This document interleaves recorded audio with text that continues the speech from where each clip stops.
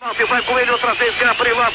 Devolveu para o comandante de ataque que joga em todo lugar, menos pelo comando da ofensiva. Bola recuada, ficou então com Tarazélia. Tarazélia para trás. Dominou o pau, chutou, o Valdir.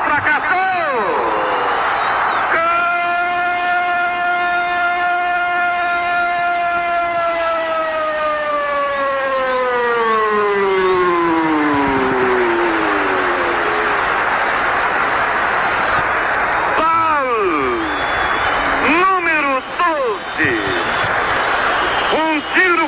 cumprido, uma infelicidade, uma tristeza.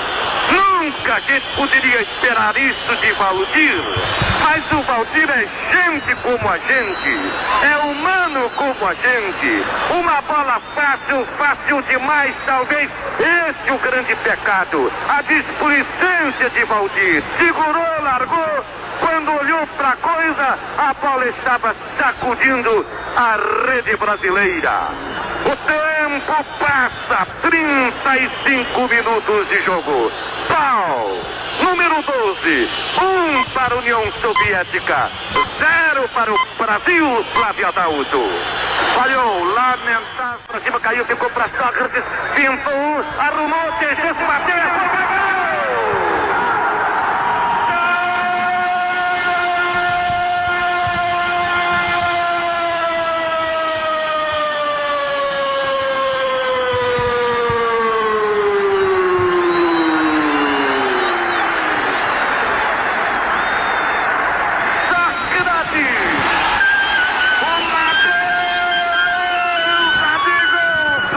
bater, brasileira.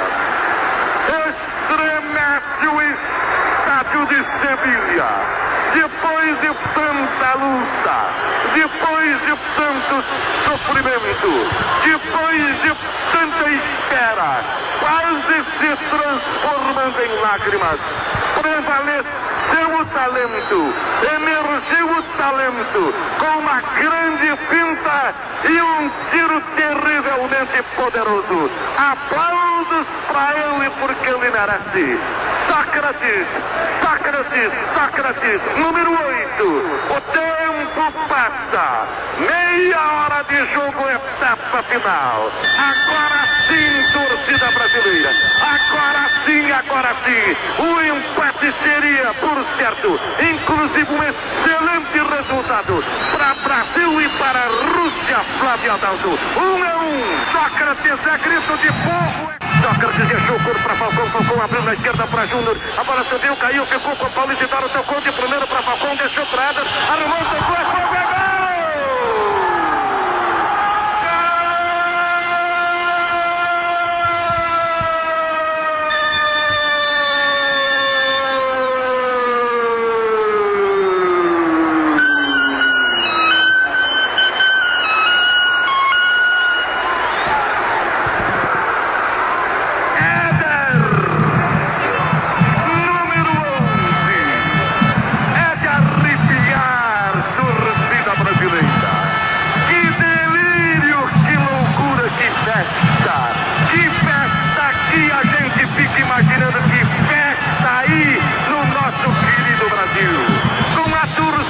brasileira já preparando seu carnaval. Uma virada sensacional. Estremece o estádio do Sevilha.